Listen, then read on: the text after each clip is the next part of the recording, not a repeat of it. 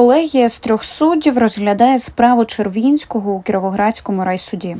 Саме сьогодні, 19 квітня, спливає термін запобіжного заходу екс-розвідника.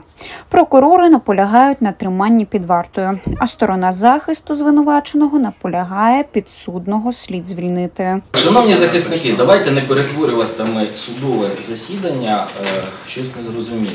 Вам вручена пам'ятка, її перевірили, вона відповідає кримінально-процесуальному кодексу. Я роз'яснив чому. Будь ласка, тим більше, ви фахові юристи.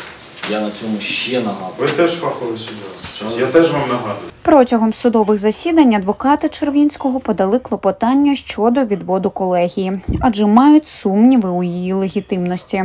Через це вчора на місце подій викликали поліцію. Даний склад суду вчора сформований незаконно через втручання в автоматизовану систему розподілу справ, оскільки у е, якій годині? О, о 13.15 перший автоматизований розподіл не зміг обрати дану трійку суду, і у нас є ці документи, цей е, е, протокол автоматизованого розподілу. А от сьогоднішнє засідання розпочали адвокати Червінського з низки клопотань. Одне з них про відвід прокурорів.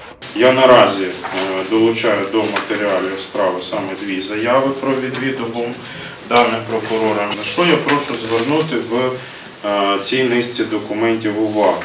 Прокурор е, Кобес дійсно е, подав заяву про е, відкликання е, клопотання про продовження міри запобіжного заходу і вказав частину 2 статті 185. Проте просив застосувати механізм правовий повернення. Прокурор послався в своїй заяві на одну статтю, е, одну частину статті, а здійснив дії і просив, вірніше, просив здійснити дії по іншій статті, по частині першій.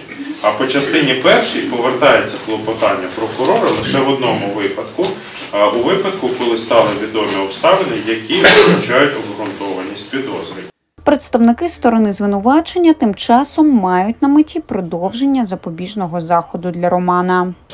Ви сьогодні намагаєтесь розглянути начебто обрану міру запобіжного заходу у вигляді тримання під вартою моєму клієнту при наявності в його справі двох взаємовиключних ухвал суду, одна з яких встановлює юридичний факт відсутності обґрунтованості підозри, а друга продовжує е, моєму клієнту міру запобіжного заходу на 15 днів.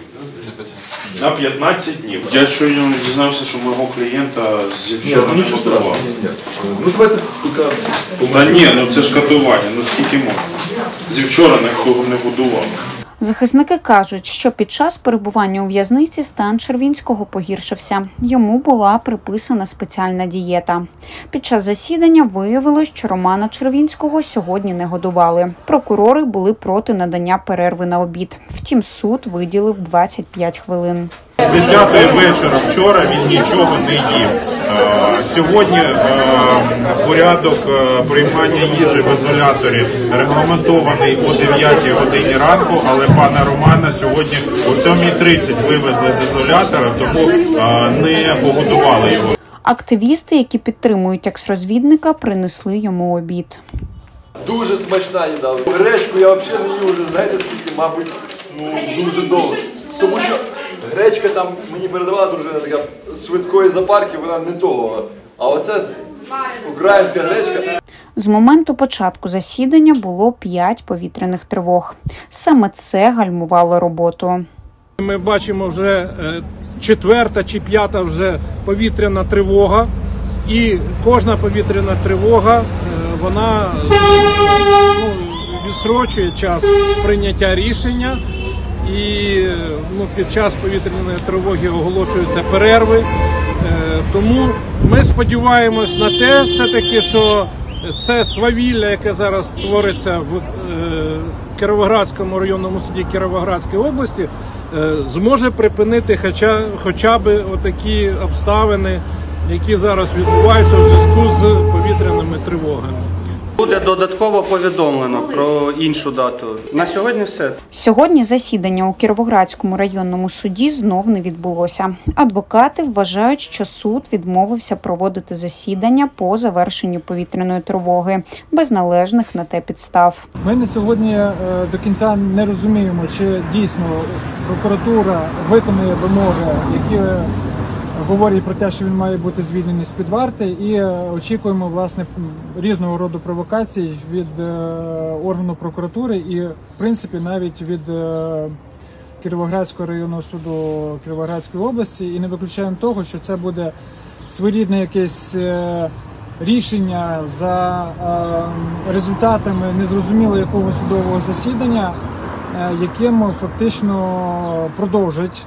Е, Або навіть не продовжать, а просто вкотре будуть утримувати Романа під вартою, виходячи з так званих вимог е, м, 615 статті Кримінального процесуального кодексу, яка, на їхню думку, їм е, дозволяє тримати під час дії воєнного стану е, любу особу під вартою без е, рішення суду. Романа Червінського мають відпустити сьогодні о 23 годині 59 хвилин.